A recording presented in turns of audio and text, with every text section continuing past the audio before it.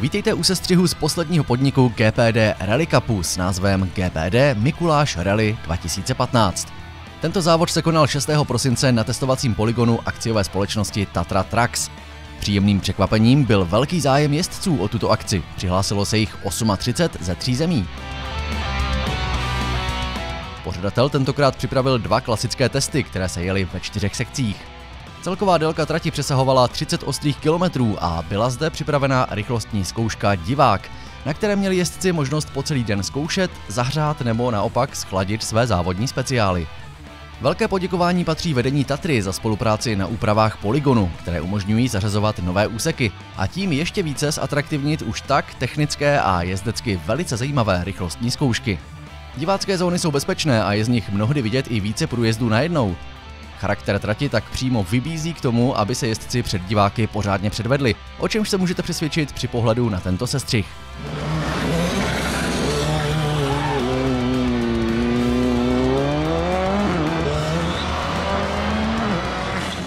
Napínavou podívanou měl přinést souboj o celkový titul letošního GPD Rally Cupu. Rozhodnout se mělo mezi Fiestou R5 Romana Odložilíka a Fabii S2000 Antonína Tlustáka. Karty byly rozdané jasně. Rychlejší z této dvojice se stane vítězem celého šampionátu.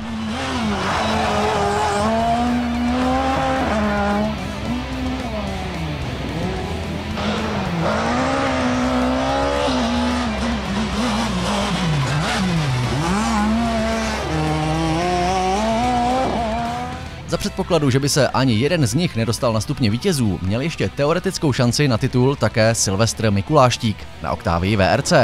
Ten si jízdu ve voze VRC náramně užíval, i když ani on se nevyhnul drobné chybičce a poškodil svůj stroj. Přesto si držel průběžné druhé místo.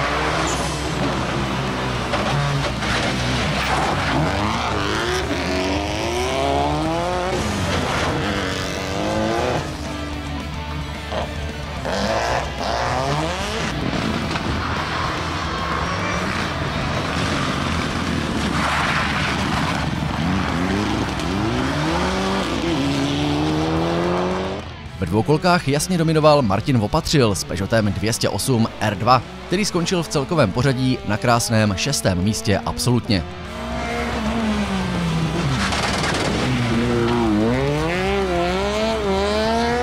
Na druhou pozici se na konci závodu propracoval Tomáš Dostál se Seatem Ibiza, který se tak dostal před polského jezdce Sebastiana Puzoně. Ten startoval s vozem Citroën C2R2.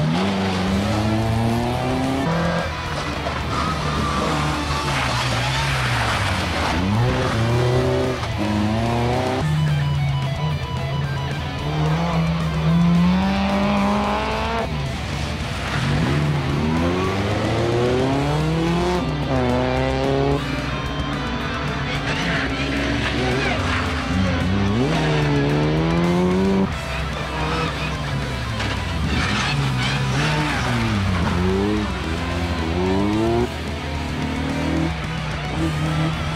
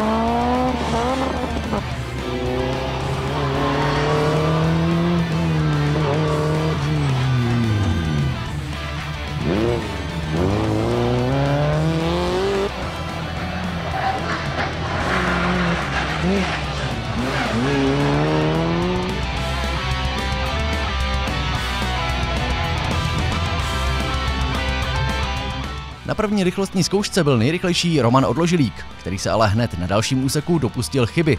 Rozbil kolo a stálo ho to velkou časovou penalizaci. K triumfu v celém seriálu se tak hodně přiblížil Antonín Tlusták, který si bez větších problémů držel vedení v soutěži před Mikuláštíkem. Neuvěřitelný finish předvedl Roman Odložilík. Jeho Ford byl nejrychlejší pětkrát z 8 RZ a vyšplhal se na celkovou třetí příčku. Pořadí před ním už se nezměnilo. Stříbrný skončil Silvestr Mikuláštík a pro vítězství si dojel Antonín Tlusták, který se tak po třetí za sebou stal celkovým vítězem šampionátu. Právě souboj o absolutní vítězství v GPD Rally Cupu 2015 byl na posledním podniku letošní sezóny tím nejlepším kořením tohoto atraktivního sportu. Celý rok přinášel pěkné souboje o desetinky sekund a byl zajímavý pro jezdce i diváky. Je proto otázkou, jak to bude v příští sezóně.